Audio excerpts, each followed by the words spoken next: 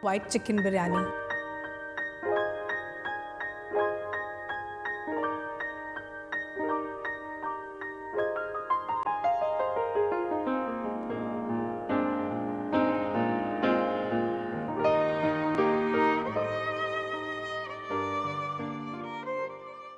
Hi, welcome to Sanjeev Kapoor Khazana. I'm Sonika, and the recipe that I've got for you today is out of a biryani. So we're making a chicken biryani, but as usual, we're going to make a slightly different one. So today we're making a white chicken biryani.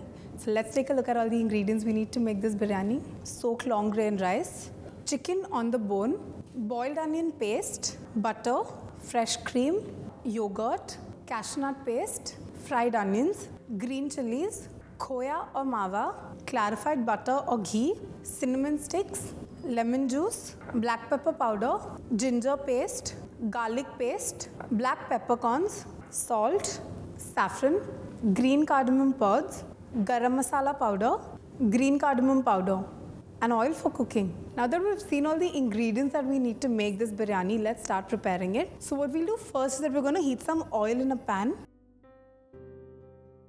So once the oil is gone nice and hot, we're going to add in the whole spices to this. So I'm going to add in one whole stick of cinnamon, a few cloves, say one bay leaf, a few pods of black pepper, and around two to three pods of green cardamom. Next, I'm going to add two out of the three slit green chilies. Be careful once you add the green chilies because the seeds are going to cause the oil to splutter a lot. So after that, I'm going to add in the boiled onion paste.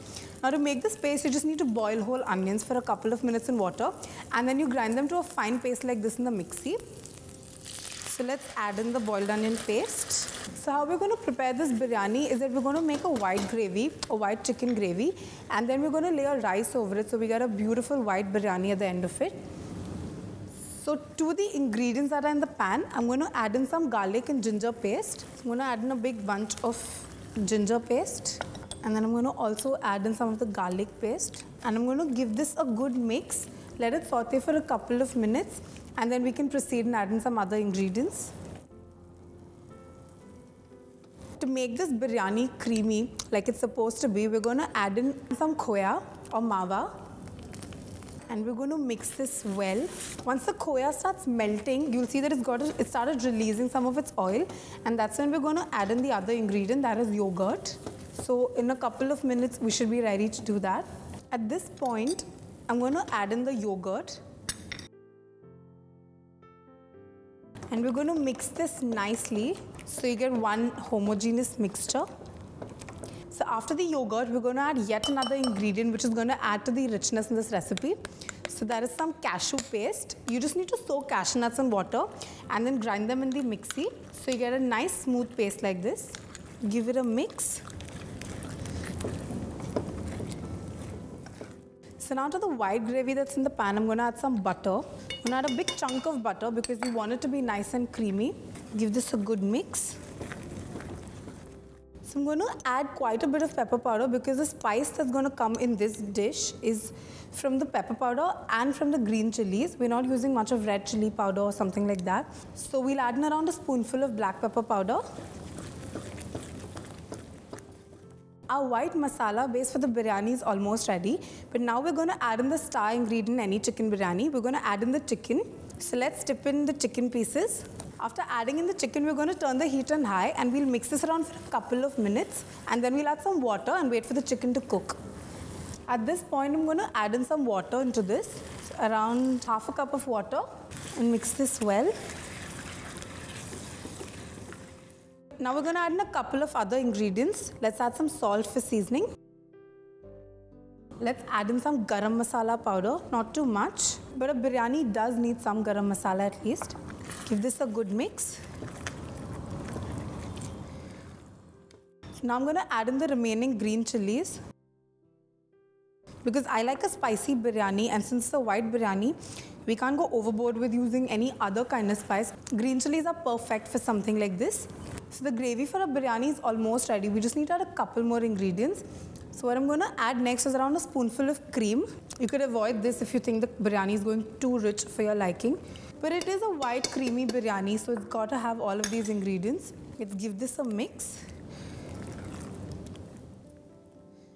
Next, I'm going to add in some very coarsely crushed black peppercorns.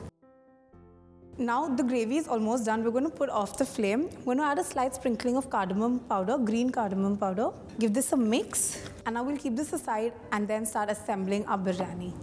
So now we're going to assemble our biryani. We're going to do it slightly differently today. What I'm going to do is I'm going to heat some ghee in a pan. Add in the whole spices, add in the soaked rice and then layers of chicken will follow. So first let's add some ghee. So to the ghee, I'm going to add in a few cloves, another piece of cinnamon, around two green cardamom pods, a couple of whole black peppercorns, and a tiny little pinch of saffron. And now we're going to mix all of this nicely for a bit till, till all the masalas release their flavor. So this is the perfect time. So I'm going to add in the soaked rice. So we've added, added in the rice and we're just going to let this thing heat up a bit. I'm going to add a slight pinch of salt for seasoning. Give it a mix again.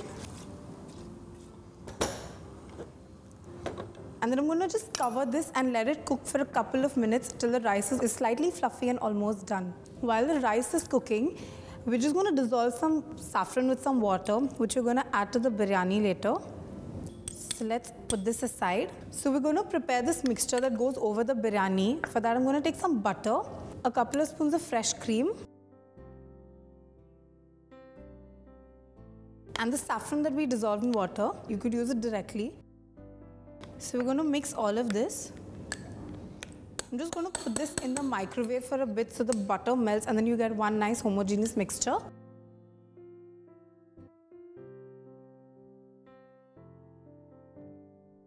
So you got this beautiful saffron, cream and butter mixture, which we're going to put aside for a bit. Now the chicken gravy that we prepared, it does not have anything sour. So once it's slightly cooled down, we're going to add in the lemon juice to it. So I'm going to add in around one, one and a half spoonfuls of lemon juice. Let's give this a mix and let's put this aside for a bit.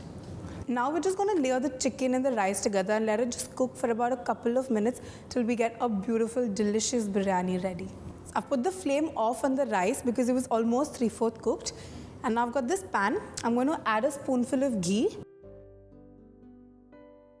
And I'm going to add in the chicken that we prepared into this pan.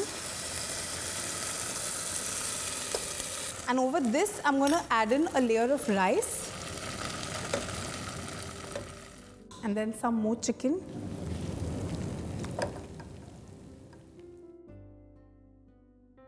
And finally, the last layer of rice. So now I'm going to add in the fried onions.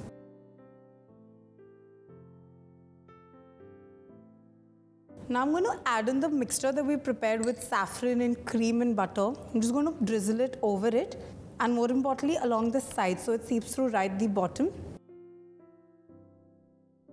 Now we're going to cover this and cook it for about 5 to 10 minutes on low heat till you can see that there's amazing steam accumulated inside. We don't need to be worried about cooking anything because we've almost parboiled the rice and the chicken was almost done. So we just need it all to accumulate together and get one gorgeous biryani. So it's been around 8 to 10 minutes and our biryani's been cooking in a low flame all this while. It's time to plate this biryani. It looks great and it smells gorgeous. So now I'm just going to transfer this into a bowl and then I'm going to dig into it.